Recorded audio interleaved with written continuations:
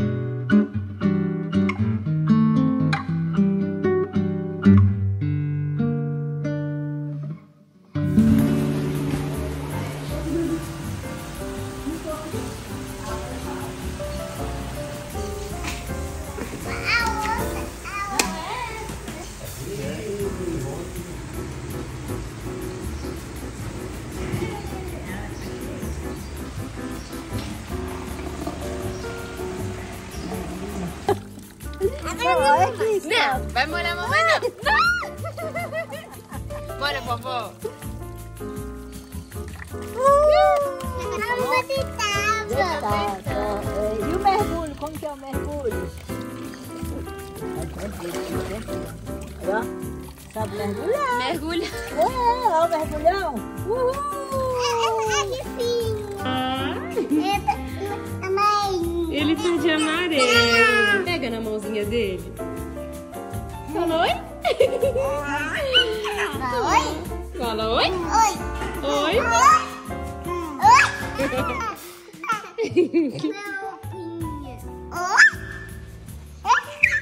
Isso, beijinho. Fez com ele pra ele rir.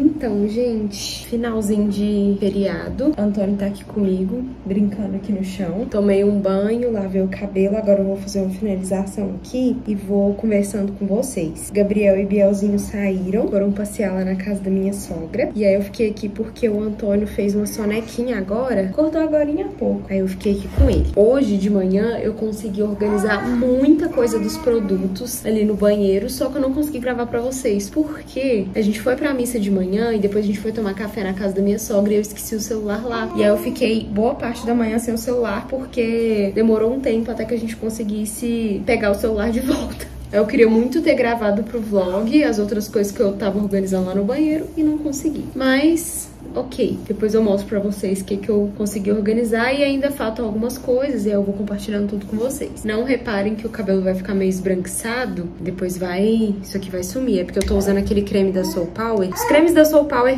todos praticamente, eles deixam esse efeito esbranquiçado enquanto a gente tá finalizando, porque eles tipo emulsificam, né? E aí fica assim. Mas depois não fica branco assim não, tá, gente? O cabelo absorve tudo. É porque forma como se fosse uma espuma, né? Que vai emulsificando. Agora à tarde eu nadei na piscina. Gente, tinha tanto tempo que eu não fazia isso. Tipo, entrar assim na piscina sozinha, de boa. Eu aproveitei a hora que os meninos dormiram. Que vontade de entrar. Tava muito calor. Tá muito calor. E aí eu falei, vou aproveitar essa piscina hoje. Vou fazer uma coisa pra agilizar essa finalização. Vou aplicar o produto de forma geral aqui em todo o cabelo. Ao invés de ficar dividindo mecha por mecha aplicando.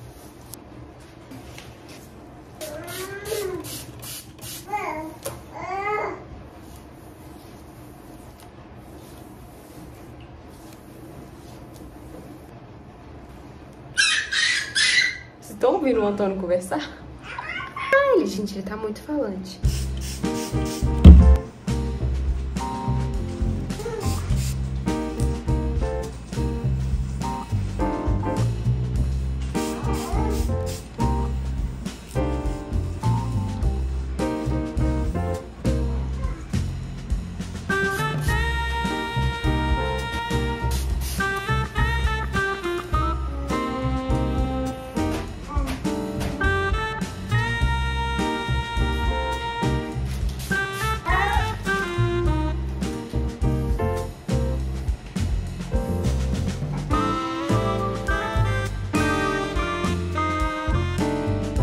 Finalizados. Tá vendo que o esbranquiçado das primeiras mechas já até saiu? Mas as últimas ainda tá. Antônio tá todo falante aqui. Enquanto o Gabriel e Bielzinho não chegam, eu vou dar uma catada. Eu costumo dizer catada na casa. Tipo, dar uma organizada na casa rápida, coisa assim de 10 minutos, 5, 10 minutos, só pra dar aquela organizada nas coisas que estão jogadas no chão, que estão fora do lugar, lixo espalhado pela casa. Dar essa organizada básica pra gente já se preparar pra rotina noturna. Já são 7 da noite, geralmente essa hora os meninos já estão prontos pra dormir, mas hoje é feriado, né? A gente acabou saindo um pouco da rotina. A soneca do Biel foi mais tarde, então ele acabou acordando mais tarde, dormiu muito também. Enfim, a rotina da noite vai ser um pouco depois, né? Geralmente a gente começa umas seis e pouco, já são sete, a gente ainda não começou. E agora eu vou dar essa organizada na casa, vou levar vocês comigo. Bora! E o Antônio também, que ele tá aqui comigo.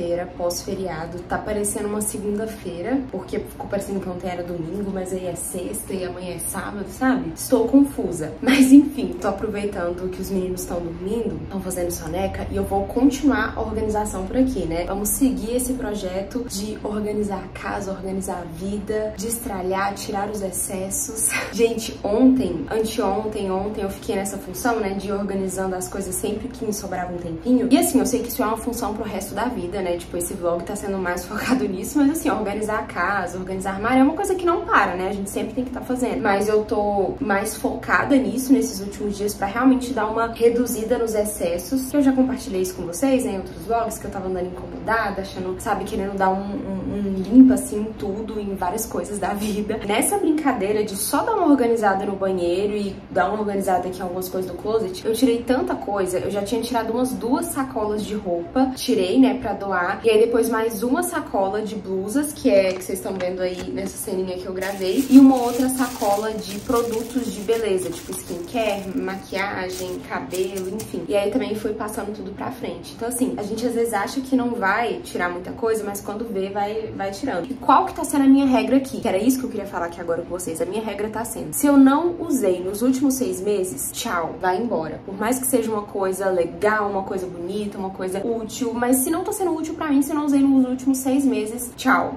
tá? Eu tô usando esse, essa técnica pros meus cosméticos, produtos, pras roupas. Ai, Ana, mas e quando for uma roupa, sei lá, de frio, né? E aí não usou nos últimos seis meses? Aí é outro caso. Eu tô usando essa regra pra coisas que eu poderia estar usando. Então, por exemplo, tem alguns produtos que tem mais de seis meses que eu não uso, mas que eu sei que eu vou usar quando o outro acabar. Por exemplo, sabonete pro rosto, né? Coisas que eu uso, que eu sei que eu vou usar e que ficam aqui como um estoque. Mas se é uma coisa que eu poderia estar usando no momento, né? Seja porque tá na estação de usar ou porque, né, é um produto ali que, que eu poderia estar tá usando e não tô usando, tchau, tá? Porque se eu não usei nos últimos seis meses, eu não vou usar mais. E eu sei que isso parece meio óbvio, né? Quando a gente fala assim, parece que é óbvio. Tipo assim, nossa, é óbvio que você tem uma coisa que eu não uso há seis meses, é óbvio que eu vou tirar essa coisa. Mas na hora que você tá olhando pra coisa, você pensa assim, ai, mas e se eu precisar? Essa é uma armadilha. A armadilha do não, eu vou deixar guardado, porque pode ser que um dia eu precise. Ah, eu vou ficar aqui guardando esse produto para, tipo assim, sei lá, tinha uns produtos que eu,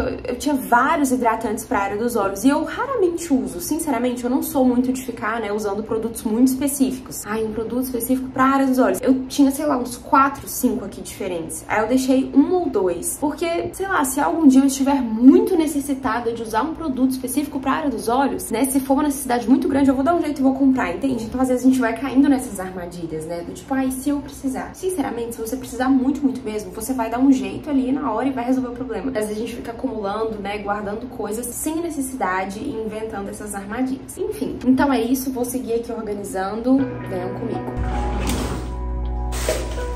O que, que é isso que eu tô fazendo aqui, gente? Uma sacola, um copo.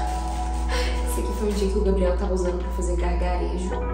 Gente, sério, são muitas aleatoriedades.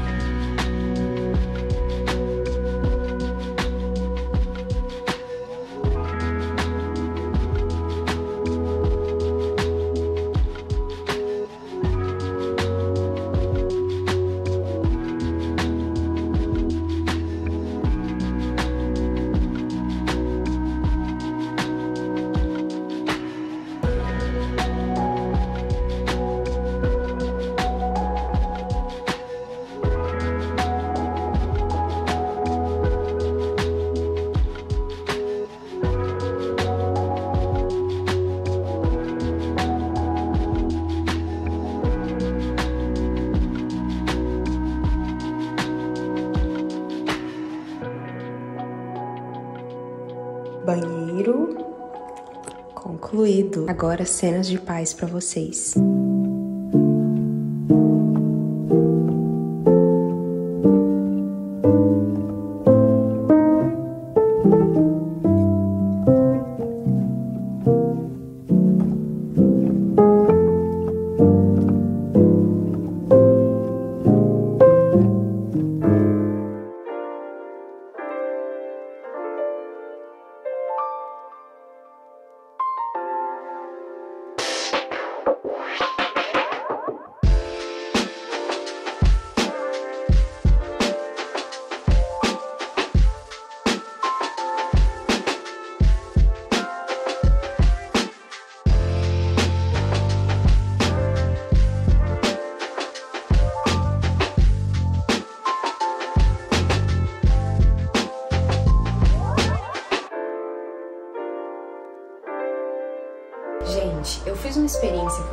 Nos últimos dias, nas últimas semanas, que deu certo e que eu queria compartilhar com vocês. Que foi o seguinte: eu coloquei algumas roupas em caixas assim, roupas que eu não tava usando tanto, mas que eu tava na dúvida se eu tirava ou não, tipo, se eu desapegava ou não. Eu tirei um monte de coisa, né? Como eu falei com vocês, tirei umas duas, três sacolas grandes com muita coisa. E assim, gente, eu sempre tô tirando, tô sempre fazendo limpa, porque eu recebo muita coisa, né? De lojas, de marcas. Então chega muita roupa, muita coisa. Então eu tô sempre, tipo, todo mês eu tô fazendo essas limpas. E aí, eu já tinha tirado bastante coisa, mas tinha umas que eu tava pegada ainda, sabe? Que eu tava assim, ai, que dúvida, não sei se eu tiro, não sei se eu não tiro. Mas eram peças que eu não tava usando muito. E aí eu falei, não, vou tirar elas da minha vista, sabe? Vou tirar elas do meu guarda-roupa, assim, da, da minha visão. E vou guardar. Pra eu ver, né? Tipo assim, porque eu queria que o closet ficasse mais limpo visualmente, com menos coisas, mais simplificado. E porque eu queria ver se eu ia sentir falta dessas peças, sabe? E aí eu fiz isso. Foram por alguns dias, algumas semanas. E agora eu tô abrindo de novo essas caixas. E eu tô vendo que realmente tem muita coisa que não faz sentido, que, que eu vou desapegar, vou passar pra frente. Tem muitas coisas que eu gosto, que eu acho bonita, assim, a peça, mas que não faz sentido ter no momento. Então é melhor passar pra frente. Já outras peças eu vejo que eu quero mesmo, sabe? Que eu senti falta, que eu vi e falei, nossa, eu quero usar isso daqui, sabe? Então, assim, algumas eu tô voltando, outras eu tô tirando, algumas eu vou doar, outras eu vou.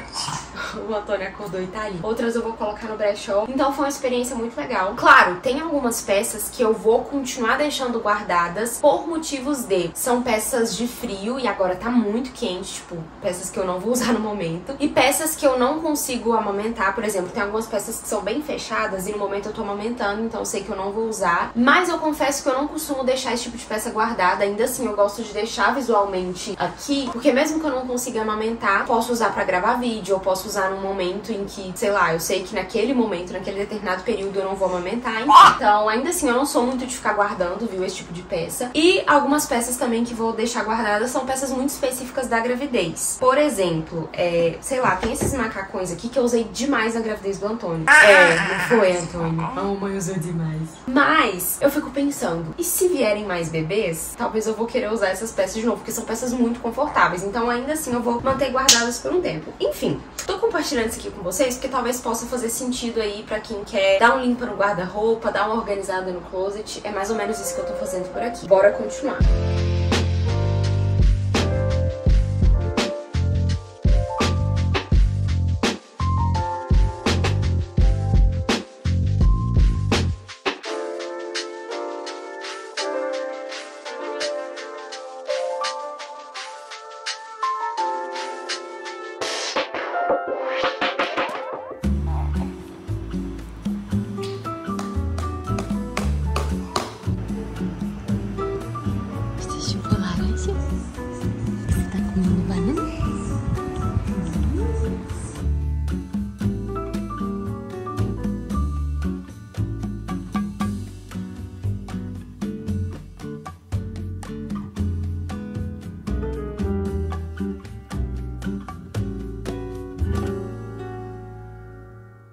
Vlog da organização vai chegando ao fim, mas antes de encerrar, eu queria trazer algumas dicas práticas, concretas e muito úteis, muito valiosas aqui pra vocês. Na hora que vocês forem organizar, destralhar, dar um limpa, lembrem-se dessas dicas, dessas coisas que eu vou falar aqui. Primeiro, quando você tiver na dúvida se você vai tirar, desapegar de uma coisa, tenta pensar assim: eu compraria isso se eu visse isso daqui na loja agora? Eu iria comprar? É uma coisa que eu tô com vontade de usar, de ter, sabe? Pensar assim me ajuda bastante. Fora as outras coisas que a gente deve pensar também, né? Ah, eu tô usando, me serve, qual foi a última vez que eu usei, né? Enfim. A segunda coisa é, eu amo isso daqui. Claro que assim, né, gente, também não dá pra levar esse do eu amo em consideração pra tudo. Mas eu falo assim, porque tem algumas coisas que a gente nem gosta tanto assim, principalmente quando é roupa, né? Aquilo às vezes nem faz sentido com o nosso estilo e tudo mais. Então, a gente tem que pensar, eu gosto, eu amo, isso daqui faz sentido pra mim? E a terceira coisa é, será que isso daqui não vai ser mais útil pra outra pessoa? Isso também me ajuda muito, né? Às vezes eu vejo uma roupa que tá ali parada, uma coisa, sei lá, um produto que tá parado aqui, e eu penso, isso daqui poderia ser muito mais útil pra outra pessoa e tá parado aqui em casa. Então é isso, me contem aqui nos comentários o que, que vocês acham de vlogs assim, organizando as coisas. Ainda tem muita coisinha pra organizar, pra colocar no lugar, pra destralhar. E como eu falei também, né, isso é um ciclo sem fim. Então sempre que eu estiver fazendo isso por aqui, eu posso estar gravando pra vocês, né? Me contem aqui nos comentários se vocês gostam. Um beijo, fiquem com Deus e até a próxima. Tchau!